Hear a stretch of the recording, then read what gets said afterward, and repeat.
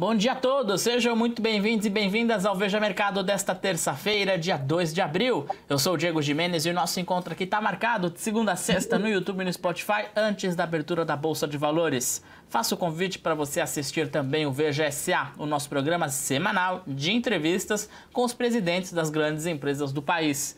No ar todas as terças-feiras na hora do almoço. Hoje tem edição inédita. Já adianta aqui que o convidado é Marcílio Pousada, CEO da RD Saúde, antiga Raia Drogazil. Coloca aí na sua agenda na hora do almoço. Não perca aqui no nosso canal no YouTube. As bolsas europeias e os futuros americanos são negociados em baixa nesta manhã. As empresas estatais deram um lucro de 182 bilhões de reais em 2023 primeiro ano sobre gestão do governo Lula. A cifra é 24% menor em relação a 2022. Os lucros da Petrobras e do BNDES caíram, mas, em compensação, os números do Banco do Brasil e da Caixa melhoraram em relação a 2022. O Ministério de Minas e Energia abriu um inquérito que pode cancelar todas as concessões da distribuidora de energia Enel, incluindo a de São Paulo. Além disso, a Enalta Petroleira propôs uma fusão com a 3R Petroleum. O dólar comercial voltou a subir, fechou em alta ontem de 1% e bateu a marca dos R$ 5,06, o maior patamar desde outubro do ano passado. Terça-feira tem boletim Focus divulgado pelo Banco Central, que reúne as projeções do mercado para a taxa Selic, crescimento econômico, inflação. Vamos aos números, porque tem mudança nele sempre. O crescimento econômico, a previsão para esse ano melhorou mais uma vez. Ela subiu de 1,85% na semana passada para 1,89% nesta semana. As demais projeções para 2024 e 2025 seguem inalteradas. Para conversar comigo sobre todos esses assuntos, o meu convidado de hoje no Veja Mercado é Jonas Carvalho, CEO da Hike Capital. Jonas, bom dia, seja muito bem-vindo ao nosso programa. Obrigado pelo convite. Jonas, vou começar perguntando sobre o crescimento econômico. Mais uma vez, o Boletim Focus melhorou a previsão para esse ano 2024. A gente já vem de algumas semanas consecutivas dessa projeção melhorando. Começamos em 1,5, já está próximo de 2. Quero saber se a gente pode pensar, imaginar lá em dezembro um crescimento próximo a 3%, como a gente viu em 2023. Perfeito, Diego. Acho que é uma, uma pergunta extremamente importante uh, e a nossa resposta vai muito do embasamento hoje do foco principal do mercado, ou seja, dos dados que a gente acompanha uh, veementemente, que seria os juros dos Estados Unidos. Hoje, o que vai determinar o crescimento acima da, do estimado no Brasil ou não, principalmente é os juros nos Estados Unidos. E por que isso? É, porque o Brasil hoje é um dos maiores exportadores de commodities do mundo, e quando a gente tem a principal economia com uma, polícia, uma política contracionista em relação à sua gestão monetária, é, a gente vê um crescimento menor nas outras economias, inclusive na mesma, é, isso impacta o preço da commodity. Então, hoje a gente vê soja nas mínimas, minério de ferro também, enfim, a gente vê uma queda nas principais commodities do mundo e isso acaba prejudicando o crescimento no Brasil. Então, por que, que isso interessa? É, hoje a gente mapeia veementemente o que, que o Fed está fazendo e como ele está se posicionando em relação à sua política monetária. É, e, inclusive, acho que ontem foi uma discussão. É, ontem houveram algumas falas do Jerome Powell, que ele foi um pouco mais conservador no jeito de falar. É, isso impactou o mercado, até inclusive o dólar subiu e por aí vai, porque ele não deixou exatamente claro que ele iria baixar os juros na reunião de junho é, desse ano. É, um ponto interessante é que o mercado ele teve uma certa preocupação em relação ao começo do ano, mas nunca foi dito que seria baixar os juros. Então, as nossas estimativas aqui, mesmo como a gente posiciona as carteiras dos clientes, a gente nunca nem considerou é, queda de juros agora no primeiro semestre de 2024 é, nos Estados Unidos. Isso é um dado muito importante porque isso vai determinar, é, vai impactar diretamente o preço das commodities, que isso acaba impactando o crescimento do Brasil. É, Jonas, a gente sempre fala de juros americanos aqui, o mercado chegou como um todo a pensar que pudesse ser cortado agora em março, deve ficar para o meio do ano, mas gosto sempre de um pouco além também, porque o Ibovespa teve o pior desempenho entre 41 índices de bolsas de valores mundo afora no primeiro trimestre, dólar subiu, está no patamar mais alto desde outubro do ano passado, É, por que, que os mercados brasileiros, especificamente, estão mais estressados do que os demais, sendo que os juros americanos acabam afetando todas as economias? Quais são as nossas particularidades que também ajudam a explicar é, esse desempenho ruim da Bolsa e do dólar nesse começo de ano? Eu acho que um, um ponto, um ponto a se frisar é, primeiramente, que no ano passado a bolsa teve uma grande subida, então é, a gente foi um dos, do, dos índices que mais performaram, então é natural ter uma correção. É, mais um ponto também é a gente a gente está se comparando a quem. Então, quando a gente pega as economias hoje que estão em desenvolvimento, ou ter subdesenvolvidas, ou mercado emergente, a gente tem a Índia, que realmente está numa posição muito boa, que está com crescimento exponencial, a China com inúmeras questões, é, a China com inúmeras questões é, acabam impactando o mercado financeiro e também a dificuldade de conseguir saber o real crescimento o real posicionamento da economia. A gente pega a Turquia, que acho que não tem muito o que dizer, é, os nossos pares também na América do Sul, acho que são bem, é, são países é, que é difícil de se comparar em relação ao Brasil. Então, esse é um grande ponto, né? A gente está se comparando com quem, quando a gente está falando de índice Bovespa. É, um outro ponto também é que o índice hoje, o principal peso das maiores empresas do índice são empresas de commodity. E num cenário de commodity em baixa, a gente está no ciclo de baixa de commodity, assim como a gente já viveu o ciclo de alta. Soja chegou a vender a saca a 200 reais. A gente tem clientes é, agrônomos, a gente acompanha é, muito de perto o valor da soja, principalmente milho, por causa desses clientes. Então a gente chegou a ter cliente vendendo a 200 reais a saca. Então hoje a gente chegou a bater 100, agora está 130, se não me falha a memória, 120.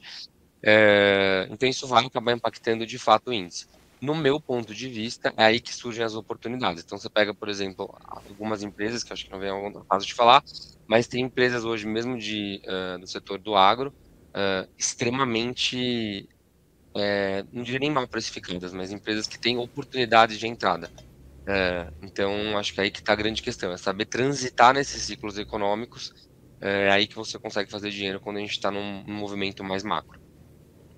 Pensando nesse movimento macro aqui do Brasil, o que, que poderia, no curto prazo, atrair mais capital estrangeiro para a Bolsa de Valores? Os estrangeiros sacaram 22 bilhões esse ano, muito relacionado, claro, com os juros americanos, com essa, esse atraso né, nos cortes que o mercado esperava para o começo do ano, agora no meio do ano. Mas pensando na gente aqui no Brasil, o que, que pode atrair esse capital de volta no curto prazo?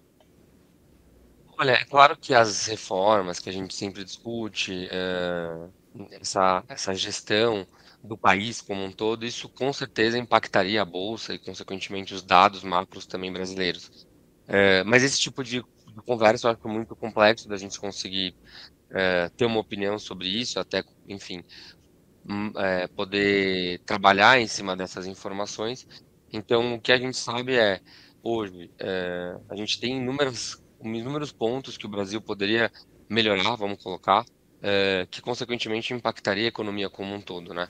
É, mas o que a gente consegue acompanhar, eu acho que é aí que está o grande ponto, né? O que fica mais fácil, porque essa parte de gestão, gestão do país como um todo é sempre muito volátil, acho que as decisões mudam muito baseado no, na situação do dia, enfim, no momento que o país está vivendo e como os dirigentes do país estão dirigindo o país, então acho que isso é meio complexo da gente dar uma opinião. O que a gente consegue falar é em relação aos dados macros, em relação ao posicionamento do Brasil versus outros países, é, acho que aí fica mais fácil a gente conseguir é, entender e, e, e, se posicionar. Acho que a grande questão é se posicionar.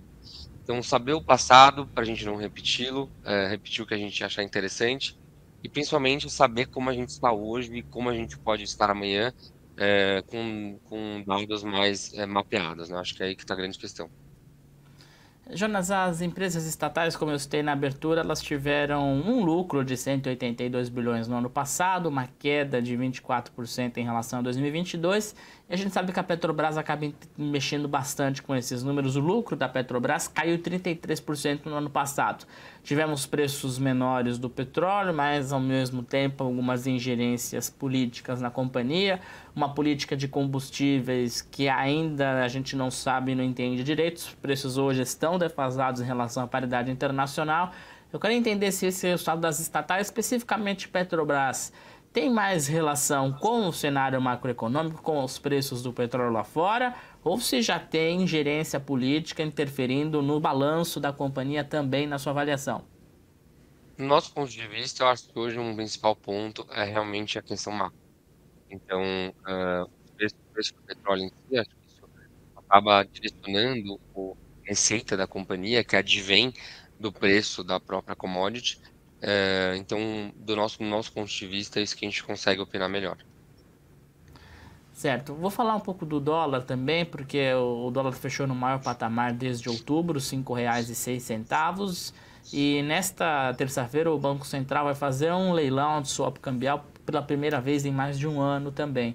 É, esse estresse do dólar também tem relação com fatores internos, é, Jonas, as interferências na Petrobras, na Vale, é, questão fiscal também, ou ele é só mesmo em relação aos juros americanos e aos títulos futuros lá fora?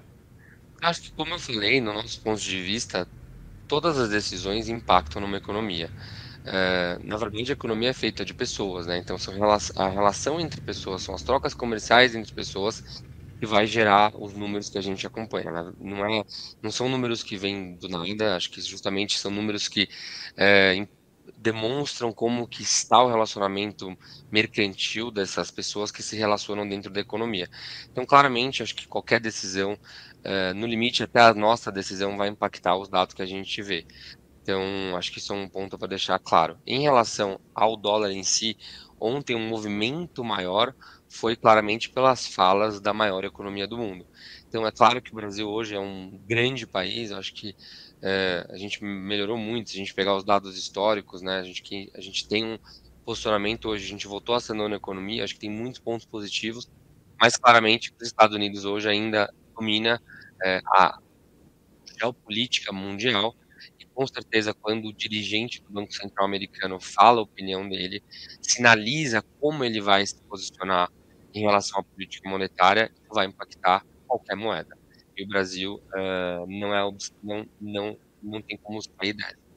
Um, então acho que isso foi um ponto principal. Se você acompanhar as notícias, aliás, todo mundo aqui acompanha, então a gente acompanha a notícia, a gente vê é que fica claro que é um movimento em relação a como a maior economia do mundo está se posicionando. Acho que tem esse ponto que vale a pena sempre a gente acompanhar. Jonas, a gente sempre escuta que é na baixa que se formam grandes oportunidades, você até citou isso na sua resposta, é, mas eu quero entender se o atual cenário político e econômico nacional e externo, eles dão segurança ao investidor de que o jogo pode de fato virar nesse segundo trimestre, depois de um primeiro trimestre de Bolsa de Valores brasileira um pouco mais pressionado? Diego, acho que é uma pergunta extremamente importante e o que eu poderia dizer para você, é, com a nossa experiência, é que o Brasil ele está dentro de um, de um espaço na quem, determina, quem movimenta muito a bolsa brasileira, ou mesmo é, os mercados de título brasileiros, ainda é o americano, então ainda é o estrangeiro, vamos colocar. Uh, hoje, se você pega a bolsa, grande concentração do capital é de estrangeiro, muito embora tenha tido essa saída. Uh, dito isso, onde que o Brasil se encontra?